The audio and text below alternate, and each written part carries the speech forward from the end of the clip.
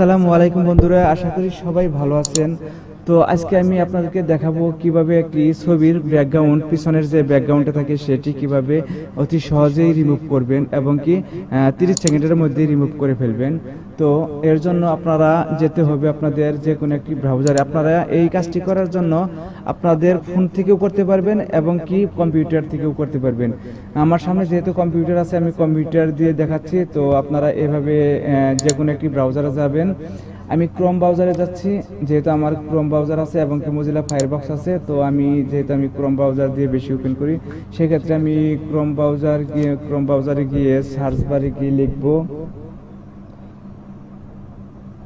ব্রাউজারে গিয়ে লিখবেন আর ই রিমুভ ডট বিজি মানে এটুকু লেখলেই হবে রিমুভ ডট বিজি আপনারা যদি রিমুভ ডট বিজি লেখেন, তাহলে এই নিচে দেখবেন রিমুভ ব্যাকগ্রাউন্ড ফ্রম ইমেজ এই লেখাটি আসবে সাইটটি আসবে। তো এখানে ক্লিক করার পরে আপনাকে একটি সাইটে নিয়ে যাবে।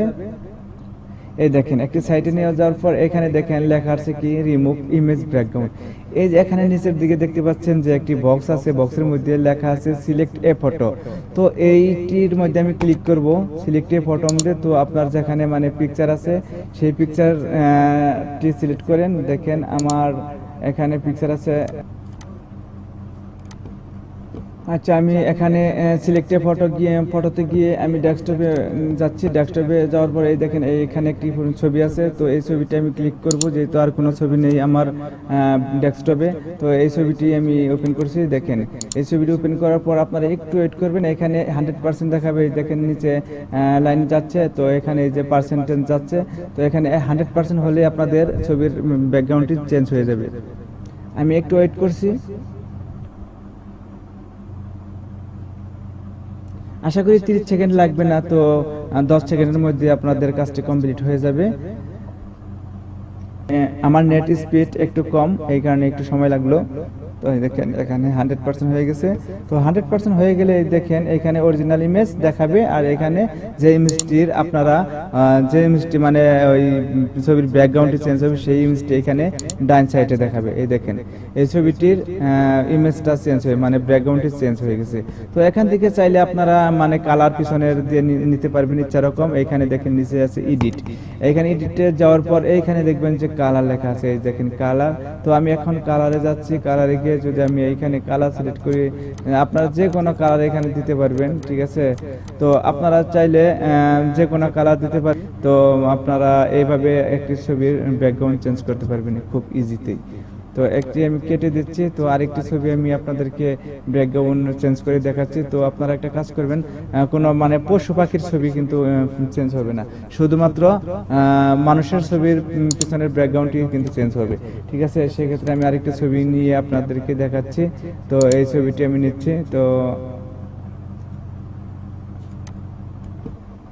আমি আরেকটি ছবি নিচ্ছি।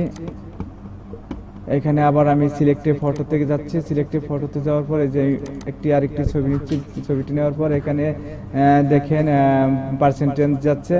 তো এখানে একশো পার্সেন্ট হয়ে গেলেই আপনাদের ছবির ব্যাকগ্রাউন্ডটি চেঞ্জ হয়ে যাবে। আর একটি কথা হলো, যদি আপনারা কেউ ফটোশপের কাজ করেন, দেখা যায় ছবির পিছনে যারা নতুন ফটোশপের কাজ করেন পিছনের ব্যাকগ্রাউন্ড চেঞ্জ করতে একটু সমস্যা হয়, তাহলে তারা এই সাইটটি দিয়ে আপনারা পিছনের ব্যাকগ্রাউন্ডটি চেঞ্জ করে তখন আপনারা এ ফোর সাইজ এবং কি অন্যান্য সাইজ আপনারা বানিয়ে নিতে পারবেন, সে তারপর আপনারা ওইখান থেকে প্রিন্ট দিতেও পারবেন। যদি আপনারা চান, পরবর্তীতে আমি ভিডিওটি দিতে পারি যে কীভাবে একটি ছবির ব্যাকগ্রাউন্ড চেঞ্জ করে ফটোশপে নিয়ে আপনারা কাজ করবেন। ঠিক আছে? তো এই দেখেন, এখানে আমি চেঞ্জ হয়ে গেছি অলরেডি এই এখানে দেখেন একটু মানে ওয়াশ হচ্ছে। এই দেখেন, এই মুরব্বীর ছবিটি অটোমেটিকলি মানে ব্যাকগ্রাউন্ডটি পিছনের ব্যাকগ্রাউন্ডটি চেঞ্জ হয়ে গেছে। আপনারা চাইলে পিছনের নীল কালার দিয়ে নিতে পারেন। যদি স্টুডিওতে কাজ করেন সেই ক্ষেত্রে আপনারা পিছনের ব্যাকগ্রাউন্ডটি নীল কালার দিয়ে দিবেন। তো আমি এখানে নীল কালার দিয়ে দিচ্ছি। নীল কালার দেওয়ার পর এই জিনিসে দেখতে পাচ্ছেন ওকে বাটন ওকে আছে। এইখানে ওকে করে দিবেন। ওকে করে দিলেই এইখানে দেখেন ওকে করে দিলেন, এই এই ছবিটির পিছনের ব্যাকগ্রাউন্ডটির কালারটি ফিক্সড হয়ে যাবে। তারপর এখানে দেখেন সেভ আছে, ঠিক আছে? এখানে সেভ দিলে আপনার এই ছবিটি সেভ সেভ হয়ে যাবে অটোমেটিকলি এই বন্ধুরা, আপনারা যে কোনো ড্রাইভে সেভ করতে পারেন। দেখেন, আমি দেখাচ্ছি আপনার, আমার ড্রাইভে কোথায় সেভ হয়েছে। এইখানে দেখেন ডাউনলোড ডাউনলোডে যাওয়ার পরে যে এই ছবিটা আমি চেঞ্জ করছি পিছনের ব্যাকগ্রাউন্ড এই দেখেন। আশা করি সবাই বুঝতে পারছেন। তো সবাই ভালো থাকবেন। যদি ভিডিওটি ভালো লাগে, অবশ্যই লাইক কমেন্ট শেয়ার করবেন। তো ভালো থাকবেন বন্ধুরা। আসসালামু আলাইকুম।